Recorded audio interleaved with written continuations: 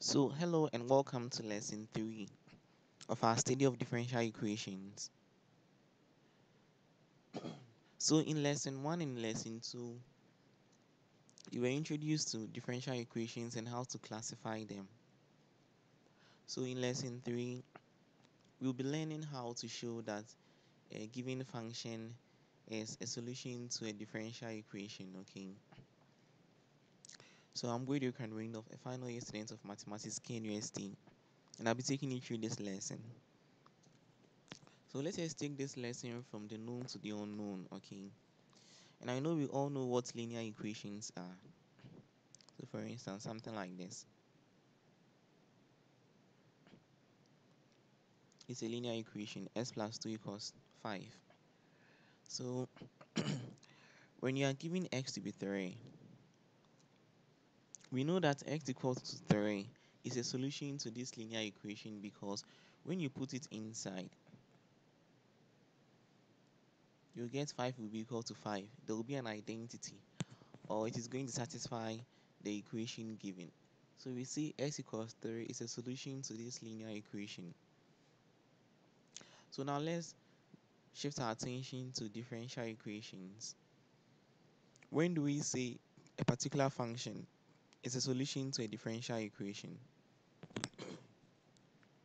So, a solution of a differential equation is any function, let's say phi, that satisfies the given differential equation on a specified interval. Okay, so that's the definition for what the solution of a differential equation is. So let's take some examples.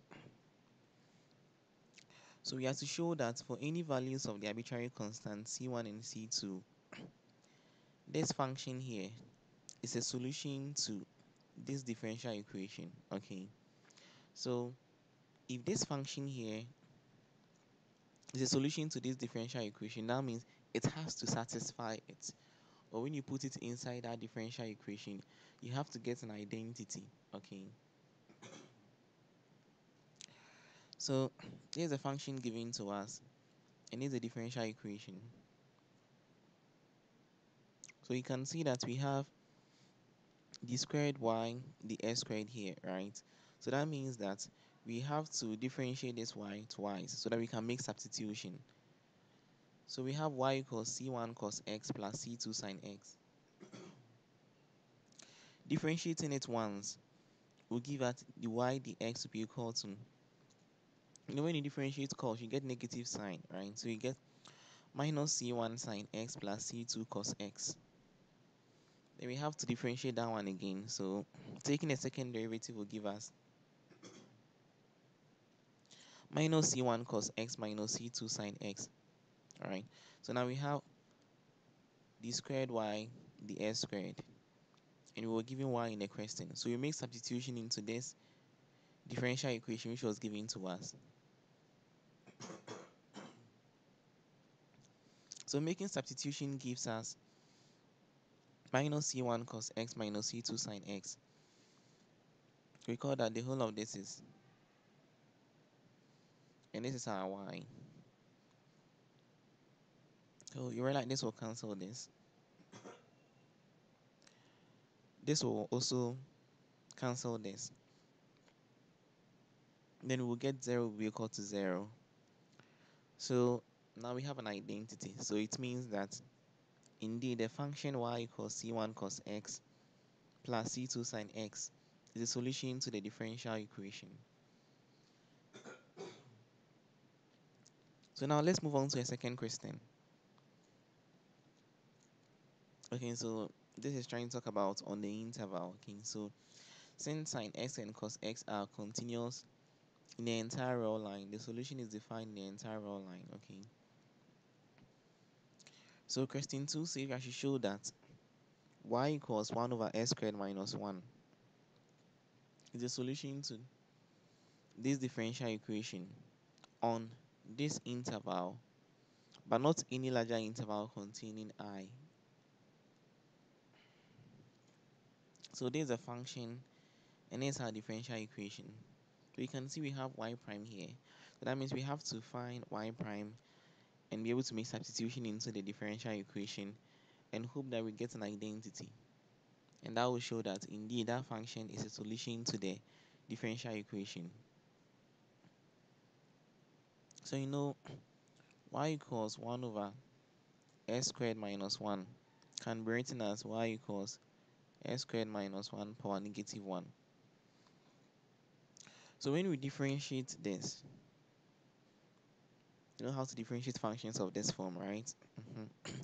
so we differentiate we will bring this one here minus 1 we differentiate what is inside. We get times 2x then s squared minus 1 we subtract 1 from the power so we get negative 2 and this is the same as what we have here is the same as this one right? So that's y prime so now making substitution into the differential equation which was given that's y prime plus 2xy squared equals 0 this will be y prime plus 2x then this is y then squared y squared right? Okay. So you know when you have something like a over b all squared this is same as a squared over what? b squared. So 1 all over s squared minus 1 squared is the same as 1 squared over s squared minus 1 all squared which is the same as 1 over s squared minus 1 all squared what we can find here right?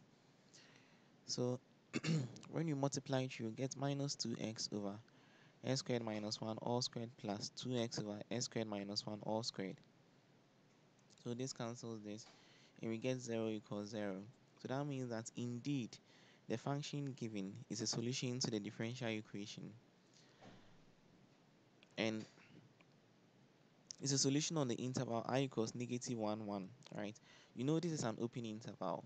You can recall that from your real function and um, real analysis class right? So that means that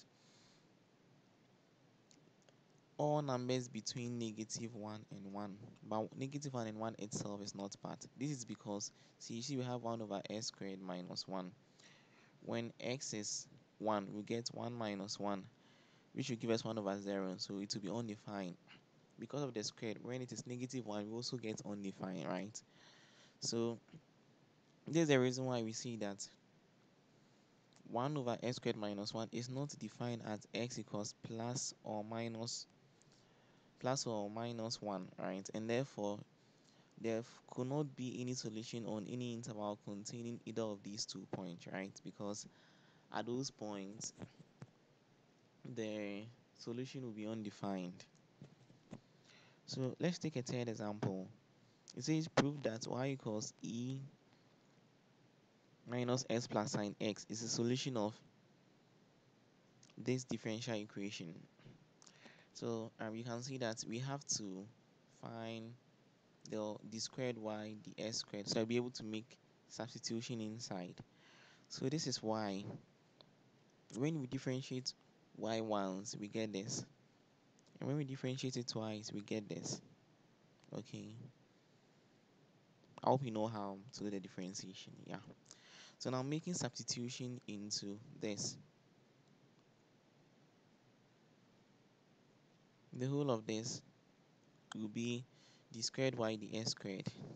And this is our what y so you can see that sine x minus sine s goes away. Then we have this here and this here which will give us 2e minus s equals 2e minus x. So you can see we have an identity. So that means the function given is indeed a solution to the differential equation. So given a differential equation this is how we show that a particular function is a solution to it that function should satisfy the differential equation on a specified interval okay all right so we have some trial questions here that you can practice them. Okay. So you have to show that y equals ln x is a solution of this differential equation. And the second one is you have to show that y equals x power negative 3 over 2 is a solution of this differential equation here for x greater than what? 0 okay. So all the best. If you couldn't get anything you can go over the video again and trust me the understanding will come. So in our next video we'll talk about the general solution of a differential equation and how to determine a differential equation from general solution. So thank you and see you in the next video.